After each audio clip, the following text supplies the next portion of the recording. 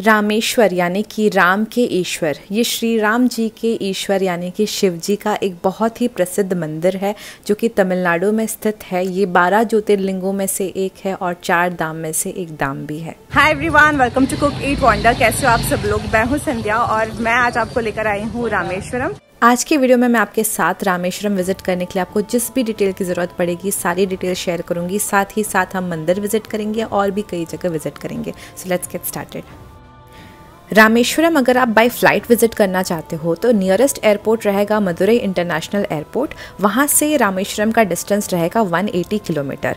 अगर आप ट्रेन से आना चाहते हैं तो नियरेस्ट रेलवे स्टेशन रहेगा मंडपम रेलवे स्टेशन जो 18 किलोमीटर्स के डिस्टेंस पर है। आप अपने रामेश्वरम ट्रिप में सबसे पहली चीज़ जो देखेंगे वो है ये पम्बन ब्रिज ये बहुत ही इंपॉर्टेंट ब्रिज है जो कनेक्ट करती है पम्बन आइलैंड जो कि है रामेश्वरम आइलैंड को मेन आइलैंड के साथ. ये रेलवे ब्रिज बनी थी 1914 में और इस ब्रिज के वजह से ट्रेन आराम से रामेश्वरम तक पहुँच पाती थी, लेकिन अब ये ब्रिज फंक्शनल नहीं है because of corrosion and other issues ये अनफिट हो चुकी है और इसी वजह से अभी यहाँ पर एक नई ब्रिज बन रही है, आप देख सकते हो इस वीडियो में। और ये ब्रिज जब रेडी हो जाएगी तो फिर से ट्रेन आराम से रामेश्वरम तक पहुँच पाएगी। लेकिन एज ऑफ़ नाउ आपको ट्रेन से आना है तो मंडपम रेलवे स्टेशन में उतर कर फिर बाय रोड आनी पड़ेगी। और ये जो रोड ब्रिज आप देख रहे हो, ये 1988 में बनी थी। 1914 में बनी हुई ये पंबन ब्रिज इंडिया की सबसे पहली सी ब्रिज है और सबसे लंबी ब्रिज भी थी 2010 तक और 2010 में बैंड्रा वर्ली सीलिंग बन गई थी तो ये लॉन्गेस्ट नहीं रही। ये इंडिया की सबसे पहली सी ब्रिज होने के बावजूद भी एक मास्टर पीस थी बिकॉज़ इस ब्रिज के बीच में एक शिप के लिए ओपनिंग बनाई गई थी। जैसे कोई शिप आती थी तो ब्रिज को ओपन किया जाता था। इंजीनियरिंग मास्टर पीस थी ये ब्रिज और अभी जो नया ब्रिज बन रहा है, इसमें भी आप देख सकते हैं सेम चीज़ फॉलो हो रही है। इसमें भी एक सेंटर में ओपनिंग बनाई जा रही है शिप के लिए। तो जब भी आप रामेश्वरम आए, इस पुराने ब्रिज और नए ब्रिज को देखना मत भूलिएगा।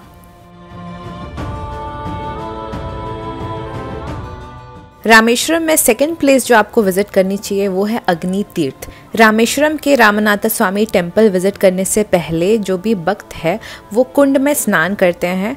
22 कुंड मंदिर के अंदर है और ये जो सबसे पहला कुंड है, वो समुद्र में है। यहाँ पर कई तरीके की पूजा भी होती है तो आपको प्राइजेस में दिखा दे रही हो। अगर आप किसी भी तरीके का पूजा यहाँ पर इस अग्नि तीर्थ में करवाना चाहते हो तो आप यहाँ पे करवा सकते हो। तीर्थ कुंडों में स्नान करना कंपलसरी बिल्कुल भी नहीं है। तो अगर आप करना चाहते हो कुंड में स्नान तो सबसे पहले अग्नि तीर्थ में आकर यहाँ पर स्नान करिएगा और उसके बाद यहाँ से 170 मीटर के रास्ते पर ही मंदिर है। तो उसके बाद बाकी बाईस कुंड में आप स्नान कर सकते हैं। अग्नि तीर्थ में मैंने नोटिस किया कि काफ़ी सारा वेस्ट प्रोडक्ट और बहुत सारे कपड़े वगैरह फेंके गए हैं और बिल्कुल भी पानी साफ़ नहीं था। तो अगर आप चाहो तो पूरा स्नान किए बिना बस अपने सर पर थोड़ा सा पानी छिड़क कर बाकी तीर्थ कुंड पर आप स्नान कर सकते हैं। अग्नि तीर्थ में स्नान कर कर बाकी बाईस कुंड जो मंदिर के अंदर है, वहाँ पर जाने के लिए आप वॉक करके ही आराम से जा सकते हैं।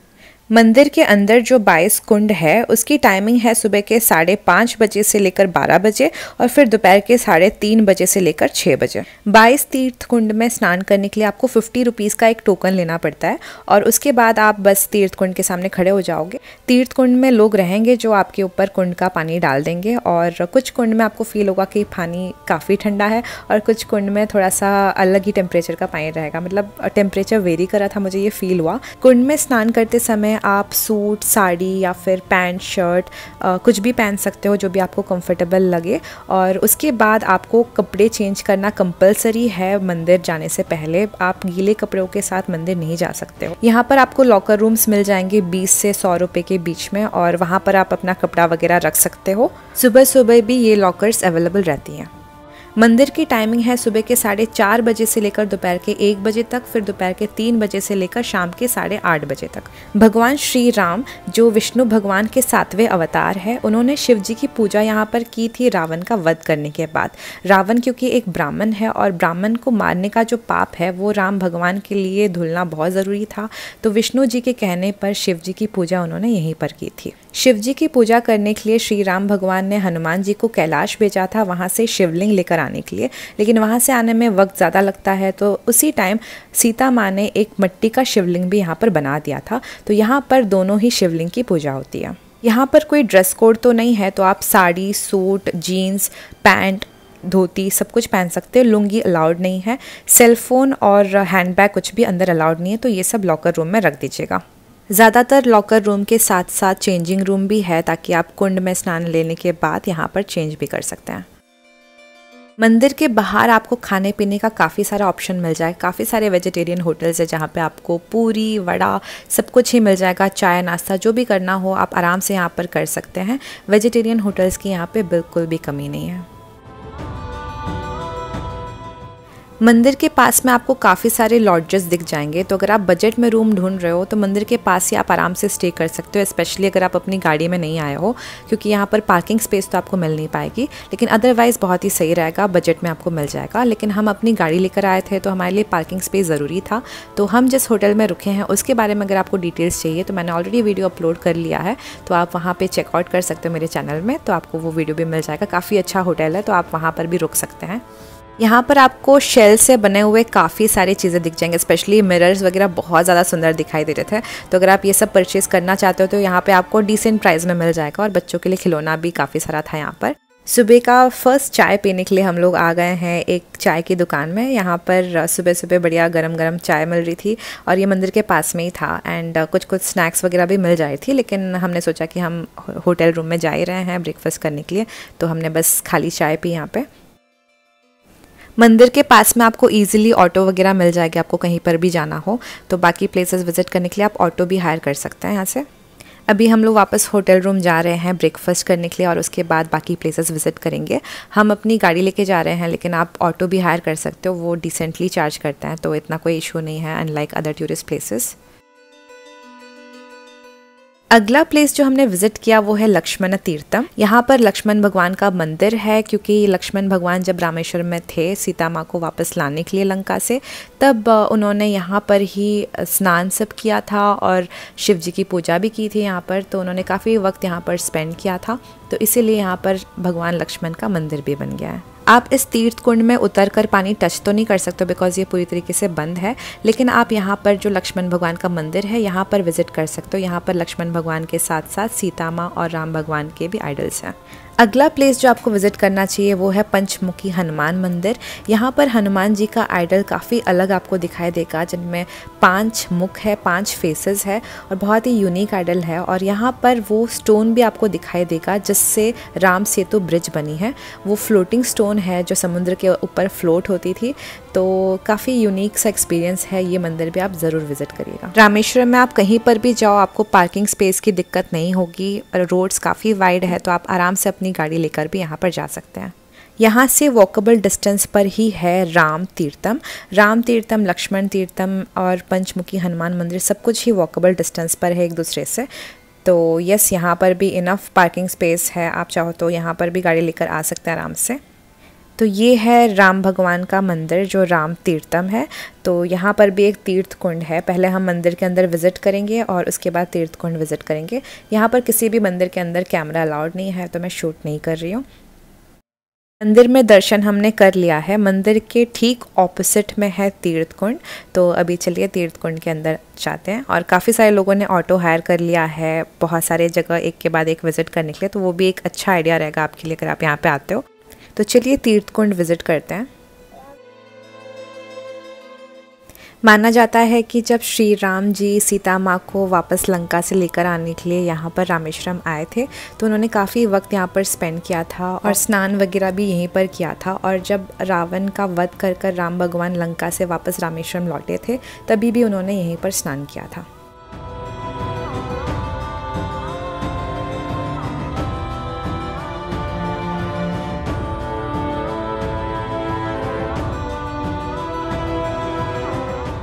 नेक्स्ट हम लोग जा रहे हैं धनुष कोड़ी की तरफ़।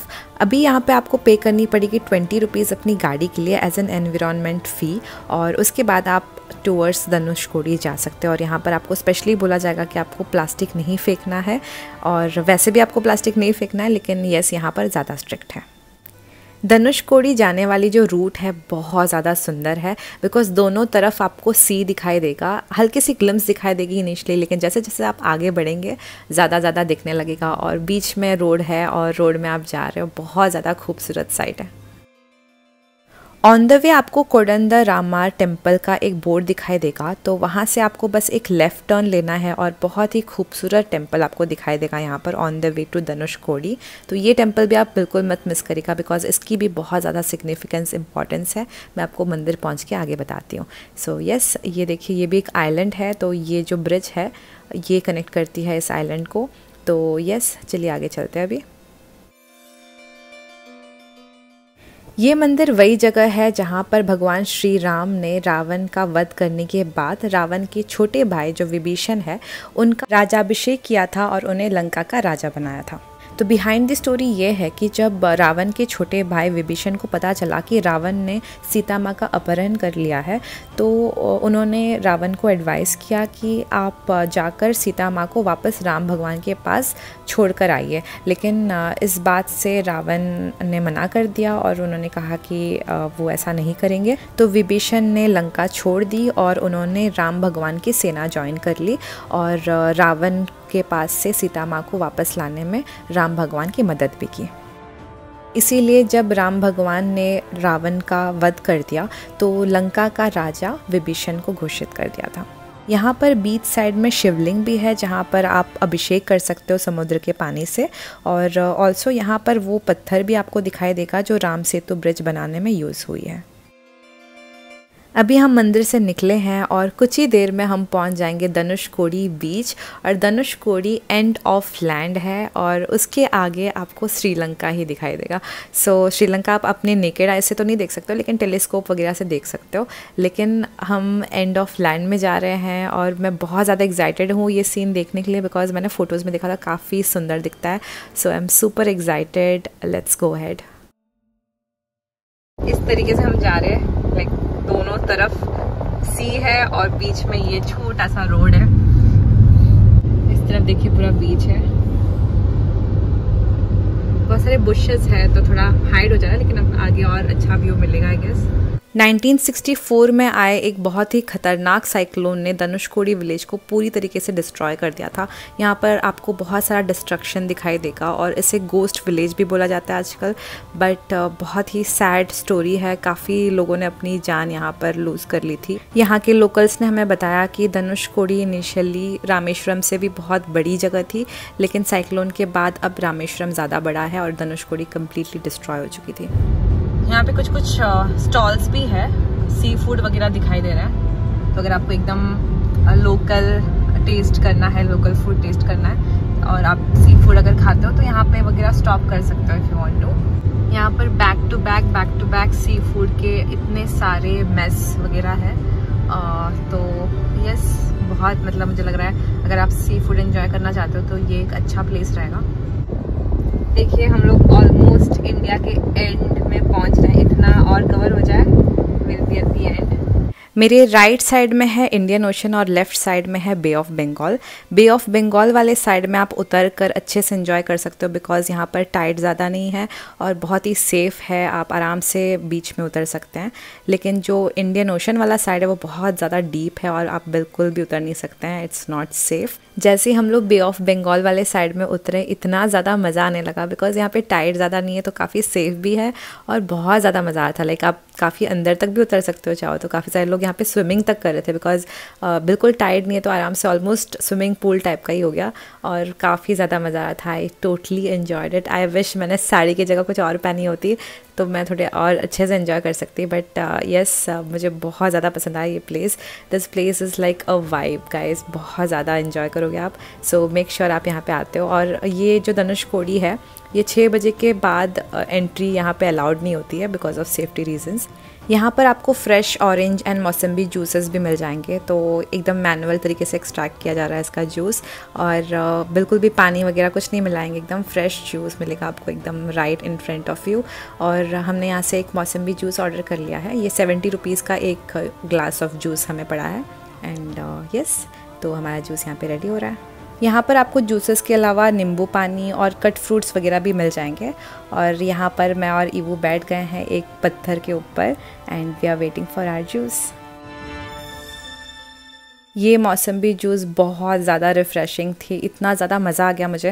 बिकॉज़ एक तो यहाँ पे ना इतनी ज़्यादा धूप थी। बिकॉज़ छः बजे से पहले आपको विज़िट करना है तो मोस्ट प्रॉब्ली आपको आफ्टरनून टाइम पे ही आना पड़ जाता है। और इतनी ज़्यादा तेज़ धूप थी। तो I was really exhausted but this place is very beautiful no doubt लेकिन एग्जॉस्ट आप हो जाओगे तो जूस की ज़रूरत आपको पड़ेगी। यहाँ पर आप शेल से बने की चेन्स और मिरर्स और शेल्स और मोती के बहुत सारे टाइप ऑफ़ ज्वेलरीज़ ये सारी चीज़ें भी यहाँ से परचेज़ कर सकते हो। तो यस ये भी आप चेकआउट करना, यहाँ पे काफ़ी सारे स्टॉल्स आपको दिख जाएँगे।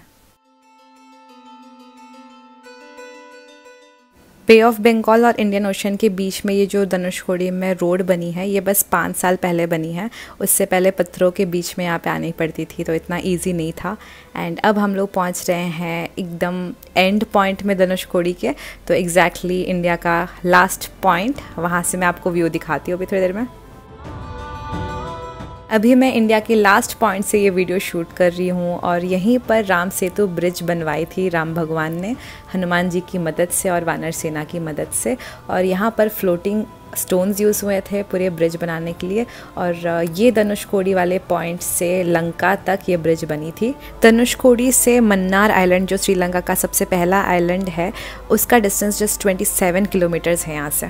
आप चाहो तो ये टेलीस्कोप यूज़ कर कर श्रीलंका देख सकते हैं और ऑल्सो राम सेतु ब्रिज के रिमेनिंग्स भी आपको थोड़े से दिखाई देंगे। लेकिन राम सेतु ब्रिज अभी कम्प्लीटली पानी के अंदर इमर्स हो चुका है तो आपको इतना ज़्यादा अच्छे से नहीं दिखने वाला है। धनुषकोडी से निकलकर हम आ गए हैं हमारे नेक्स्ट लोकेशन पर, जो है ए पी जे अब्दुल कलाम जी का घर, हमारे इंडिया के फॉर्मर प्रेसिडेंट और greatest scientist of India Abdul Kalam ji का घर अभी एक म्यूज़ियम में बदल दिया है। अंदर वीडियोग्राफी अलाउड नहीं है तो मैं आपको दिखा नहीं पाऊँगी, लेकिन ये आप बिल्कुल मत मिस करिएगा। आपको ना अंदर जाने के बाद हर चीज़ देख ऐसी फीलिंग आएगी कि अच्छा अब्दुल कलाम जी यहाँ से चलते होंगे, यहाँ पर बैठा करते होंगे। बहुत ही अच्छा लगेगा और मेरे बहुत ज़्यादा फेवरेट अब्दुल कलाम कलाम जी, हम सबके फेवरेट है। तो आप यहाँ पर डेफिनेटली आइएगा। बहुत ही नॉमिनल फ़ी है। फाइव रुपीज़ थी आई गेस एंट्री फ़ी तो डेफिनेटली विज़िट करिएगा। घर का ऊपर का जो फ्लोर है, वो एक शॉपिंग मॉल में बदल दिया है। नॉट एग्जैक्टली मॉल एक फ्लोर है जहाँ पे आप कुछ ना कुछ शेल्स और पर्ल्स के सामान या बाकी सारी चीज़ें खरीद सकते हैं। And last but not the least ये है अब्दुल कलाम जी का मेमोरियल जो एकदम हाईवे पर ही है तो ये भी आप विज़िट कर सकते हैं। अनफॉर्चुनेटली टाइम कंस्ट्रेन की वजह से हम लोग अंदर नहीं जा पाए बट काफ़ी सुंदर लग रहा था बाहर से ही तो आप डेफिनेटली अगर आपके पास टाइम है तो डेफिनेटली विज़िट करिएगा। ये थोड़ा ऑफ़ टॉपिक हो सकता है, लेकिन मैंने सोचा कि ये भी वीडियो में दिखा दूँ।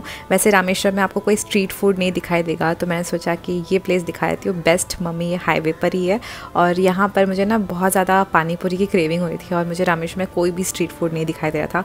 तो अगर आप मेरे जैसे सिचुएशन में हो जहाँ पर आपको कुछ चटपटा खाने का मन करे और कुछ मिले नहीं तो आप बेस्ट मम्मी में आ सकते हो और कुछ चाट वाट बर्गर पिज़्ज़ा ये सब खा सकते हो। यहाँ से हमने एक पानीपुरी ऑर्डर कर लिया है और एक प्लेट में आपको टेन पीसेस मिल जाएँगे और काफ़ी बड़े बड़े पूरीज भी थे। तो यस इसे ट्राई करते हैं अभी।